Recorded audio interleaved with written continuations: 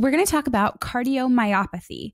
So, when we assess a patient with cardiomyopathy, we're going to see those signs of heart failure. It almost mimics heart failure. Click the link below or visit nursing.com slash NFN for a free NCLEX ebook covering the 77 key topics. You'll see poor peripheral perfusion, so you might see decreased pulses.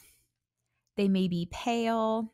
Um, and then it can also lead to that volume overload because of the fluid backing up. And so you'll see things like uh, JVD, where their jugular vein pops out of their neck, or you could see pulmonary edema, where they've got uh, shortness of breath, pink frothy sputum, and they have a, a cough, they have crackles in their lungs.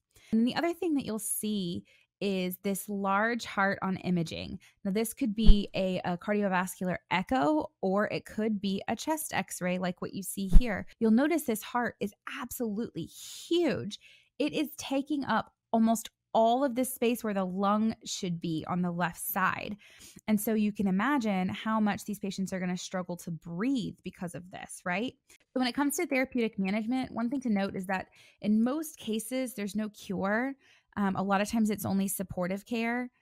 So that involves similar things that we would do for a heart failure patient, like uh, encouraging rest and for them to cluster their activities.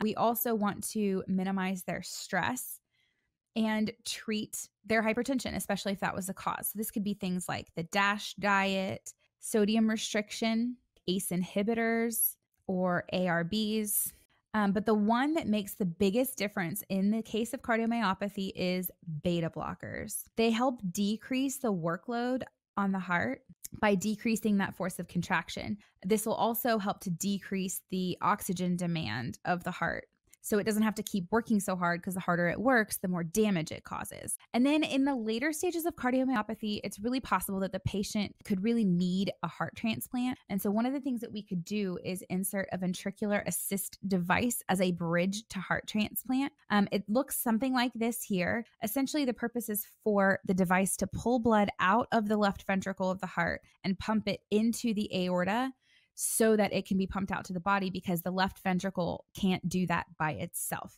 So, to sum up, again, these symptoms will mimic heart failure because they decrease cardiac output. You'll see poor peripheral perfusion, volume overload, that's your JVD, and your pulmonary edema. And remember that there is no cure really for cardiomyopathy.